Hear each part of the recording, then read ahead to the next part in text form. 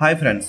Jabardasth comedian Venu Yeldandi దర్శకుడుగా తొలిసారిగా పరిచయం అవుతూ తీసిన చిత్రం బలగం. ఈ సినిమా దిల్ రాజు కూతురు హర్షిత రెడ్డి నిర్మించడం విశేషం.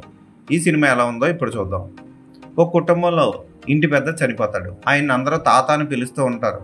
అందరినీ ఉదయమే లేపి అందరితో సరదాగా ఉంటూ ఊరంతా తనదే అంటూ ఫీల్ అయ్యే కొమరయ్య చనిపోతాడు. అతని కొడుకులు కూతురు ఇంటికి దూరంగా ఉంటారు. ఎక్కడో ఉన్న కూతురు ఇరవై ఏళ్ళ తర్వాత తిరిగి వస్తుంది. కొడుకులు కూడా భార్యలతో కలిసి వస్తారు.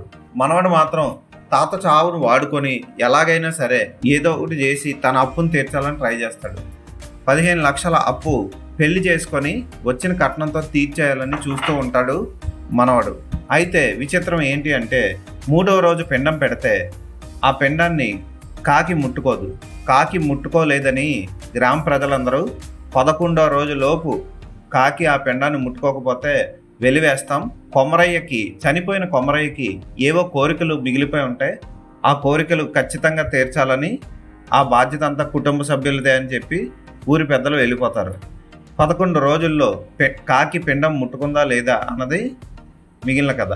ప్రతి ఇంట్లోనూ జననం మరణం రెండు జరుగుతూ ఉంటాయి. ఎవరైనా చనిపోతే పిండం పెట్టడం అనేది భారతదేశంలో ప్రతి చోట జరుగుతుంది. కానీ చేసే ఆచారం వేరుగా ఉంటుంది. ఈ సినిమా తెలంగాణలోని ఒక పల్లెటూరు చుట్టూ తిరుగుతూ ఉంటుంది. తెలంగాణ యాసని తెలంగాణ పల్లెటూరి బ్రతుకుని చక్కగా క్యాన్వాస్ మీద చూపించాడు పెయింటింగ్లా చూపించాడు వేణు ఎల్దండి.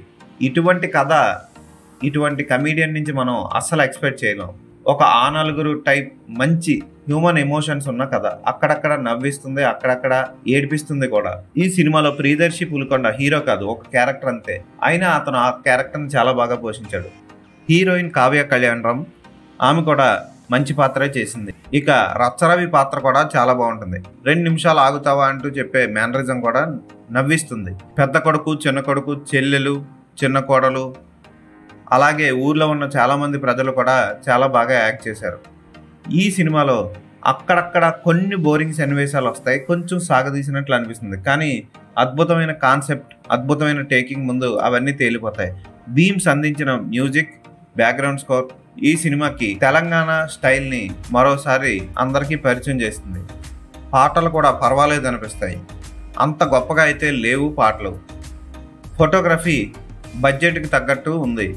చాలా గొప్ప ఫోటోగ్రఫీ అయితే కాదు కానీ ఫోటోగ్రఫీ బాగుంది. పల్లెటూరులో జరిగే అద్భుతమైన ఈ కథని తెర మీద చాలా అద్భుతంగా తీసినందుకు దిల్ రాజు లాంటి ప్రొడ్యూసర్ని మెచ్చుకోవాల్సిందే. ఈ సినిమాని కంపల్సరీ థియేటర్లో చూసి ఇటువంటి మంచి సినిమాని సపోర్ట్ చేయాలి. ఈ సినిమాకి నేను ఇచ్చే rating four by five.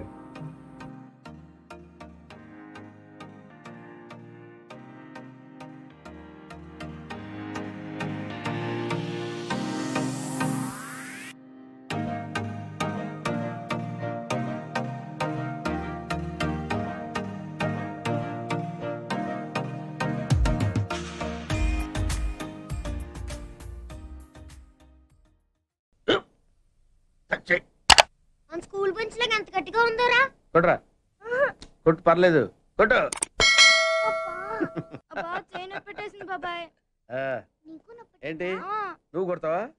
Comma bit మీ యార్ వద్దు బాబాయ్. వాడిని నేను కొట్టడం లేదమ్మా. వాడినే నన్ను కొట్టమంటున్నాను. ఆ, నువ్వేం కంగారు పడక్కర్లేదు. అడుగుతావేంటి